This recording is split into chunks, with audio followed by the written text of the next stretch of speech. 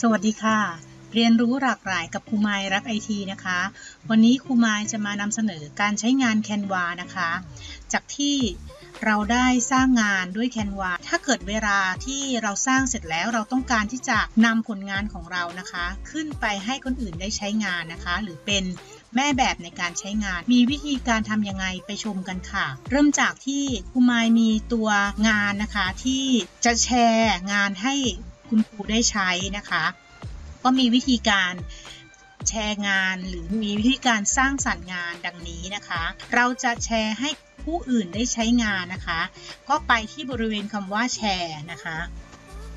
นี่นะคะ ไปที่คำว่าแชร์ แล้วเราก็คลิกวิธีการแชร์งานจะมี 3 วิธีการด้วยกันนะคะ แชร์แบบแรกก็คือแชร์แบบที่แก้ไขได้ ถ้าเราต้องการที่จะให้ผู้ที่เรา แชร์ไป หรือผู้ที่เรารับลิงก์นี้ไปนะคะ สามารถที่จะเข้ามาแก้ไขงาน งานตัวนี้ก็จะถูกแก้ไขงานไปเลยนะคะ เหมือนกับว่าอาจจะให้เป็นลักษณะของการทำงานร่วมกันนะคะ เราก็เลือกการแชร์แบบแก้ไขนะคะนี่นะคะแล้วก็คัดลอกลิงก์นี้นะคะ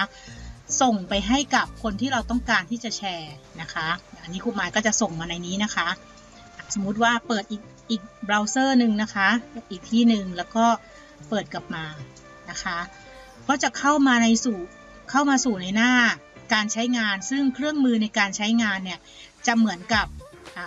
ตัวของเจ้าของงานเลยนะคะงานชิ้นนี้นะคะ จะเห็นว่าด้านบนนี้นะคะจะมีชื่อของเจ้าของงานอยู่นะคะ แล้วเราเป็นอีกคนหนึ่งในการเข้ามานะคะ ก็สามารถที่จะใส่คำคอมเมนต์เพิ่มเติมนะคะ สมมติว่าเราได้เห็นว่าควรที่จะมีการแก้ไขอย่างไรนะคะ เราก็เพิ่มเติมไปในตรงส่วนของความคิดเห็นตรงนี้นะคะออย่างนี้นะคะ แล้วก็กดความคิดเห็นอ่านะคะ ก็จะเห็นข้อความหรือคำคอมเมนต์นี้นะคะ ซึ่งคำคอมเมนต์นี้นะคะก็สามารถที่จะใส่สติกเกอร์ลงไปได้ด้วยนะคะ สติกเกอร์ลงไปได้ด้วยในการ เพิ่มเติมในการติดต่อกันนะคะ ตรงนี้แล้วเราก็จะเห็นว่าเจ้าของงานเก่านะคะ ยังใช้งานอยู่ตรงส่วนไหนนี่นะคะ เจ้าของงานเก่ามีการเลือกอยู่ที่วัตถุตรงส่วนแผ่นภูมิแท่งตรงนี้นะคะ เราก็อาจจะทำงานไปพร้อมกันกับเจ้าของงานได้นะคะ จะย้อนกลับมาที่งานของเจ้าของงานนะคะ มาดูนะคะ งานของเจ้าของงานก็จะเห็นว่ามี อีกคนหนึ่งเข้ามานะคะ มีอีกคนหนึ่งเข้ามาแล้วก็จะเห็นว่าคนอีกคนหนึ่งนะคะจะอยู่แผนภูมิที่เป็นแผนภูมิโดนัทเจ้าของงานก็จะอยู่ตรงนี้นะคะทำให้เห็นถึงการทำงานร่วมกัน ต่อไปนะคะ ถ้าเราจะเลือกเป็นแบบแม่แบบนะคะ ถ้าเกิดเราต้องการให้ชิ้นงานนี้นะคะ เป็นแม่แบบนะคะ ในฐานะแม่แบบก็คือ เวลาใครได้คัดลอกลิงก์นี้ไปแล้วนะคะ ลิงก์นี้พอเวลา เอาไปใช้นะคะ เขาจะไปทำเพิ่มเติมจากส่วนของเรานะคะ โดยที่งานของเรายังอยู่เหมือนเดิมนะคะ ไม่ไม่มาแก้ไขงานของเรานะคะ แต่เขาสามารถที่จะไปเปลี่ยนไปปรับเปลี่ยนงาน ให้เป็นงานของเขาเองเปลี่ยนรูปเปลี่ยนตัวหนังสือ แก้ไขอะไรก็ตามได้ทั้งหมดนะคะ ก็คือในส่วนของในฐานะแม่แบบนะคะ แล้วก็คัดลอกลิงก์ไป ส่วนที่3นะคะ ส่วนที่ 3 ก็คือ